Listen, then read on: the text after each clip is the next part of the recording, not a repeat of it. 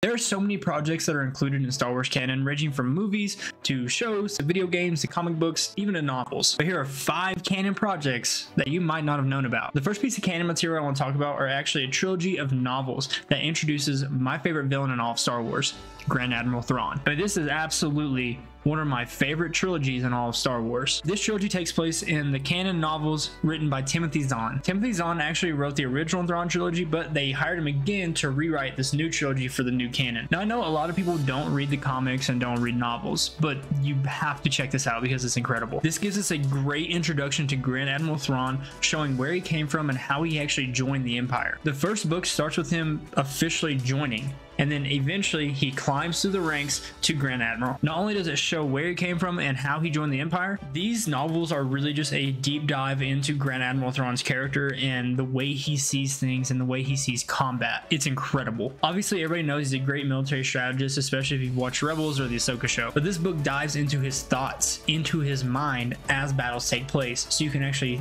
read what he's thinking. Not only do you get a deep dive into Grand Admiral Thrawn as a character and the way he thinks about things, he teams up with Darth Vader in the second book, and it's absolutely fantastic.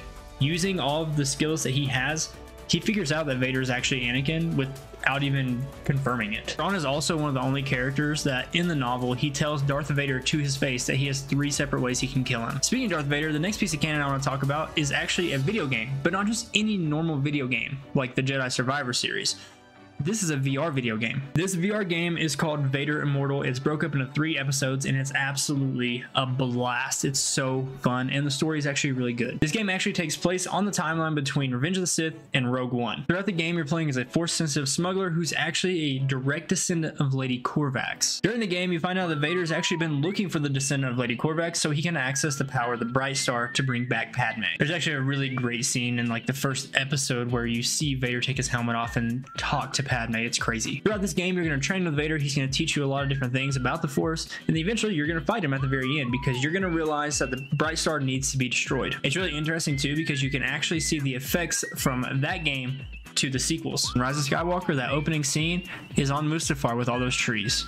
And the reason there are trees there is because of the events of that VR game. Moving on to the third piece of canon that you might not know about because a lot of people, again, they just don't read comic books or novels. This is the Vader series comic books. This comic book series just really dives into Vader as a character and you learn so many different details about him and his life that just makes you feel for the guy. You get a lot of details on his suit specifically and his relationship with Palpatine. You also get one of the coolest scenes in Star Wars. I wish they would show it in a movie or a show him bleeding his kyber crystal to turn it red. Not only do you get to see that, you get to see where he actually got it from. And yes, it's pretty freaking awesome. Something else that the comic book does really well and it's kind of hard to capture on screen for either movies or shows you get to see his real power. I'm talking he fights a lava monster inside of lava. Not only that, he also deflects some tank shots destroying multiple tanks. It's crazy using his lightsaber. Really throughout the series though, what you're gonna realize is all he really wants is to bring back Padme. I do highly recommend that comic series, especially if you love Darth Vader. Now there is a newer piece of canon material that has been going for a few years now,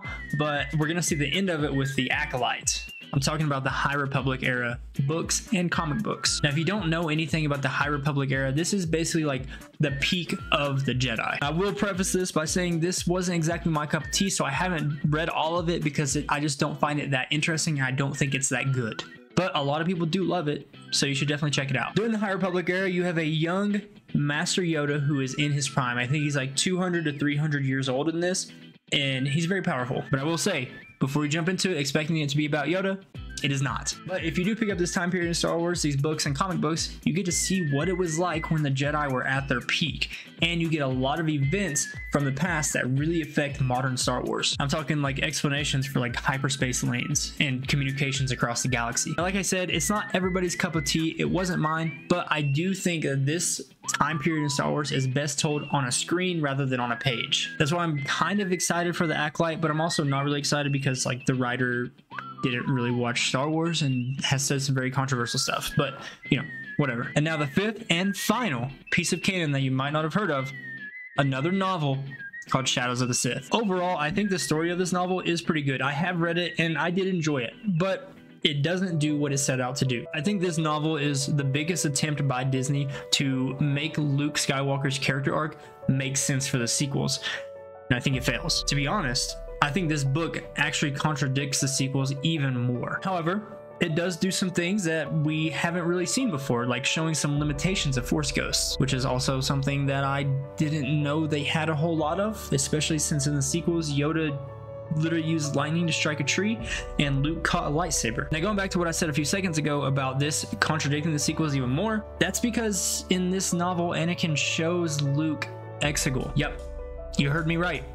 Luke sees Exegol and he knows something is happening there. This also shows some limitations of the Force Ghosts because Anakin like does a fight scene and then he gets tired and he can no longer appear as a Force Ghost, which is interesting. But whatever. Basically, this entire book was to focus on Luke Skywalker and kind of bridge the gap between what we saw in Return of the Jedi and then what we got in The Last Jedi. It really does that by focusing on the main villain of the book, and I think it fails miserably. Before we jump to conclusions, though, I will say Luke in this book is the Luke we know from Return of the Jedi not the sequels. Overall, it's a decent book. You should definitely check it out, but it does not help with the sequels at all. So there you have it. Five pieces of canon that you might not have known about and make sure you check them all out, even the ones that I said I didn't like or didn't care for all that much, because who knows, maybe you'll like them and that's okay. Either way, if you like them or if you don't like them, if you want more videos like this one, you have to let me know down in the comments. You can leave a like, that helps, and subscribing is huge. I mean, especially if you want some more Star Wars content. Make sure you share this with all your Star Wars nerds. I appreciate you for watching, and may the Force be with you.